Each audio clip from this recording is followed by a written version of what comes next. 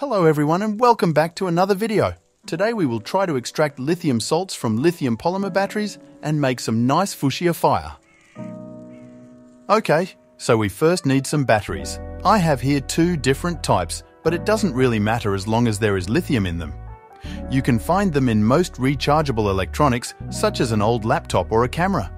We start by peeling the plastic casing to be left with only the metal shell. Here is a time lapse of me doing it. Then, we somehow open them using something sharp or even a saw. Inside, we will find a roll which contains the mixed lithium cobalt oxide that we need. You will also find a copper foil with graphite, but this is useless here and shall be separated. So in a beaker, I putted aside our oxides foil and throwed the rest. As I just said, the compound here is not just lithium, but a mixed oxide of cobalt and lithium with this formula. To separate the metals, we will first dissolve them in diluted hydrochloric acid to avoid any fire hazard because the oxide can actually make the organic compounds in the foil take fire. The amount of acid doesn't need to be precise, just add enough to dissolve a maximum amount of product. As you may have seen on the Wikipedia page, the cobalt in this oxide is in the rare plus 3 oxidation state.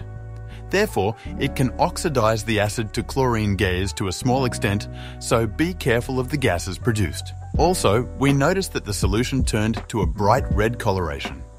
This is due to the cobalt chloride complex with water. If I did not add the water to dissolve the acid, the coloration would be a deep dark blue, which you can see reappearing when water gets removed from the solution. Then we filter everything and wash the foils with some water.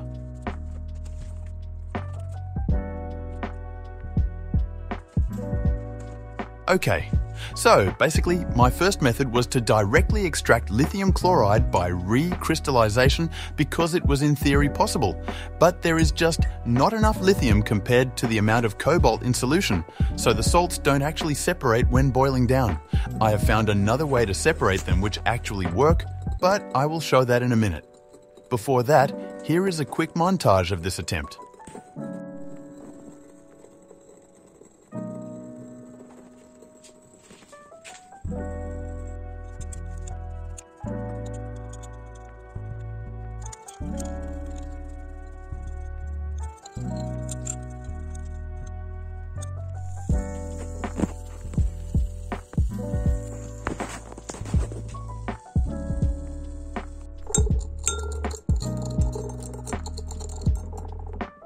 As the water gets removed, the solution becomes more and more blue. I test the presence of lithium in the cobalt salt by a flam test. Lithium ion makes a cool pink coloration while cobalt doesn't appear in the flam. Then I tried to extract lithium chloride with ethanol, but it didn't work either. So anyway, here is the real working method. We first boil down everything to get the solids dry salts and weight them. According to this paper, we should be able to selectively precipitate cobalt oxalate as a solid by using oxalic acid or ammonium oxalate. I tried to test the two in test tubes to see which one gives the best result. As you can see the solution is much more clear on the right test tube with oxalic acid, so we will use that one. I don't remember how I did the math, but basically, for 12 grams of lithium and cobalt chloride, we will approximately need 14 grams of oxalic acid dihydrate. If you do the calculations yourself, remember that your oxalic acid is most likely the dihydrate form and you need to adapt the molar mass. Anyway, we dissolve it in water and add it to our solution and a pink precipitate of cobalt oxalate forms.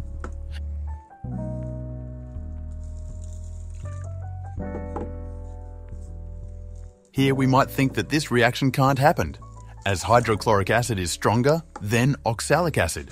But because cobalt oxalate is insoluble, the equilibrium shifts accordingly to the equation.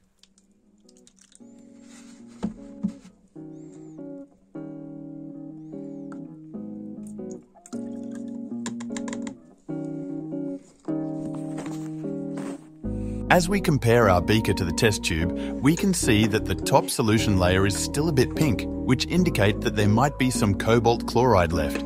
So to fix that, we can add a little bit more of oxalic acid because we will separate the excess when boiling down anyway.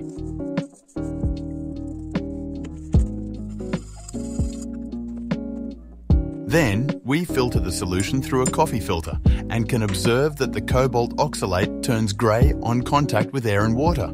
When it gets dry, it's stable in the pink form though. So I just put it in a pan to dry outside, but if you don't care, you can dispose of it. If you want cobalt metal, you can react it with aluminium foil in a displacement reaction or get it by decomposition in high temperatures with the absence of oxygen to get pyrophoric particles of cobalt.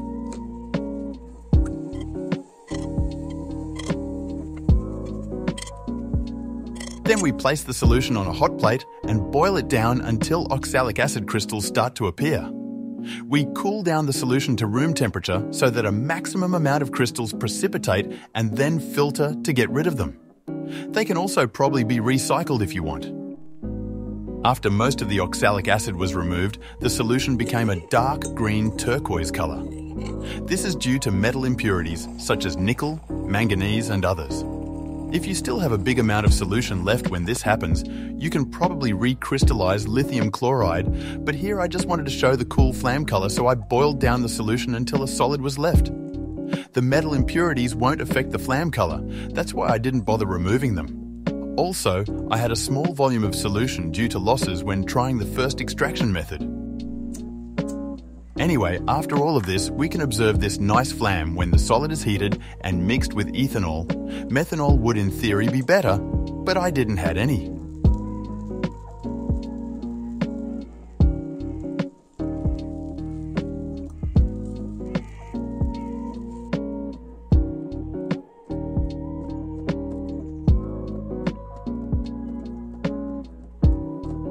If you enjoyed the video or learnt something, don't forget to leave a like and subscribe.